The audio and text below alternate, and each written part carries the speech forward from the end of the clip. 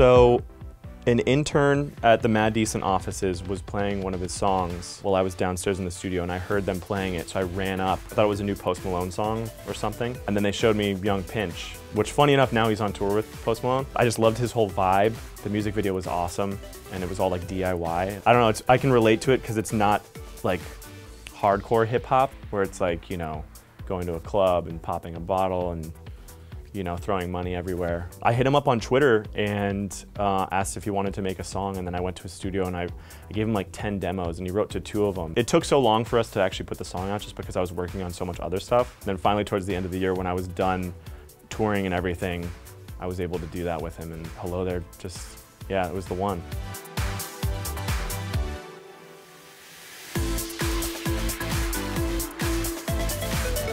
He's a Shutterstock image. He lives online. The creative directors that I work with, Pizza Slime, we've been working together since the beginning of my career. And uh, they were the ones that pitched the idea of Pineapple Man. And then we all came up with the Snipe campaign together.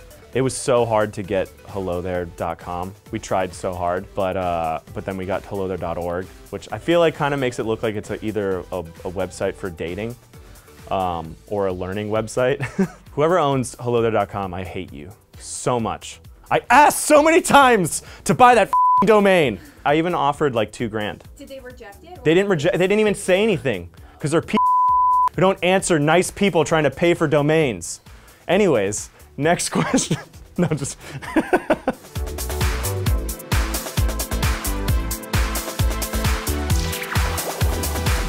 I just, I really wanted it to be kind of like you you're like, who is this guy? Who is it? Like what what is this guy? What does he want? Why is he eating a pineapple? Why is he smiling like that? I think he's just happy because he's listening to the song.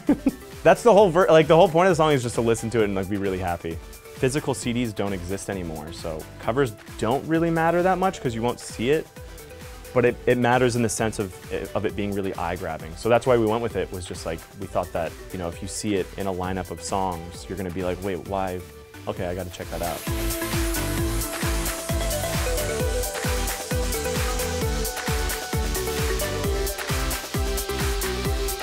Uh, the one thing that we kept saying was um, just because like eating is so popular online, we kept. It, it is. It is. Okay. And also the the the model that just was talking about eating. Does anyone remember that? What's her name? In the back, Mike. You remember? You don't remember the name? Al Alania Galagasco. So I forgot her name, but she did a whole thing where she was talking about dudes should be doing that. I don't. Okay. First, I never have. Don't want to, but um, but we kept we kept wanting to do the. I didn't do it, but we wanted to keep like doing the snipe campaign of like this guy definitely eats. so maybe there's some meme there that's like. I hope someone. I, the thing is, you can't. I can't make the memes. The memes have to come from other people on the internet. I think the song lives a little bit higher up than than the meme part of it. But I'm hoping that someone, you know, makes a better meme than than I just did because I think mine wasn't that good. And also, a lot of people are staring at me right now for talking about eating for so long. Okay.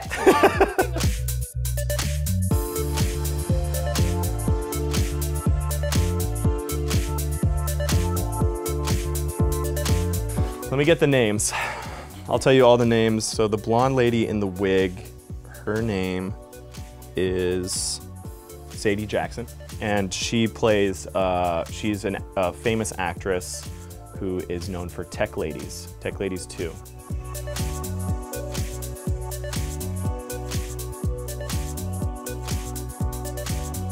Uh, that's just me, Dillon Francis. I need help because of all my multiple personality disorder.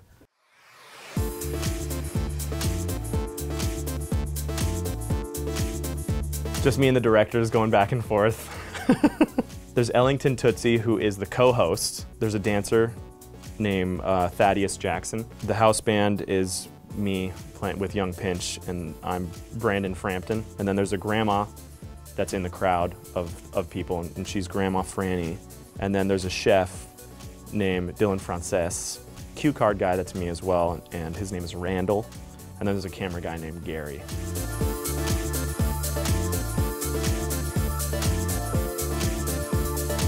It was really fun, but it was so time consuming just because get into one costume, then have to go right back out, take off all the makeup, put on either mustaches or, or whatnot, and then go back out, shoot it. They have to make sure they're keying the frames correctly. But it's, it's my favorite thing to do. I love making music videos. It's just so much fun for me.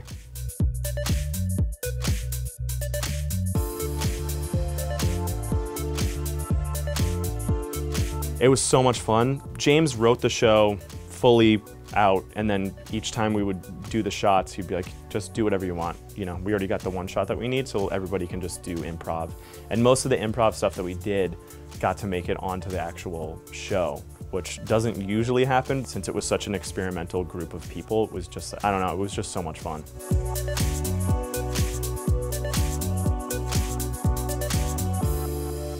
I am working on it. I've been working since November of last year. It's all in Spanish. I did it before Despacito. I'm working with uh, Jimena Sariñana, Arcángel, this guy Yashua. My manager came up with the idea where he's like, man, we should go back and actually work with Spanish artists. Because the, the first song that I ever really got big for there's two songs. One was Masta Blasta and then one was Que Que with Maluca Mala. That was a song that I produced with Diplo and she was speaking Spanglish in it.